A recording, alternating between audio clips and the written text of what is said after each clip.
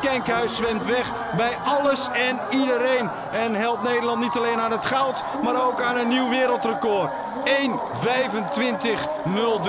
Wat een geweldige tijd. My name is Johan Kenkhuis. I'm a two time Olympic medalist in freestyle sprinting. And my favorite distances were the 100 and the 50 meter freestyle. And as part of the Dutch team, I broke three world records in the sprint relays. And the sprinting makes you just feel very powerful. It's the ultimate swim workout and it improves your overall speed, also when swimming on an easy, low pace. At Swim Gym, we train four different speeds. The first one is an easy pace used for long distances. Uh, you really focus on stroke length, and we always advise to breathe one on three for a more balanced freestyle and your kick is just being used for balance and positioning, so try to kick as less as possible.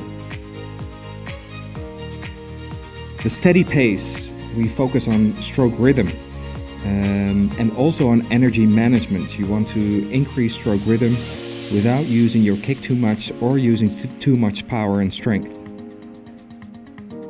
Then comes hard pace. We are going to speed things up by increasing your kick tempo and also your stroke rate. And we try to breathe less because when you breathe less, you can really focus on stroke rate and rhythm. Preferably breathing uh, once on every four strokes or five strokes is preferred on a hard pace. Finally, we have the maximum speed all out swim. This means a maximum stroke rate and a maximum kick tempo at the same time we try not to breathe or at least one or two times every 25 meters so you can really focus on maximum output.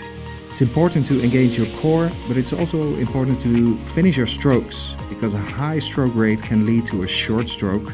We always want to keep a length to be more efficient.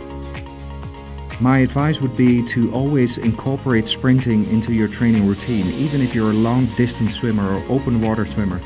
It really helps you to improve your overall speed also on easy pace or longer distances. It's a great strength workout. You don't have to go to the gym to become a stronger swimmer.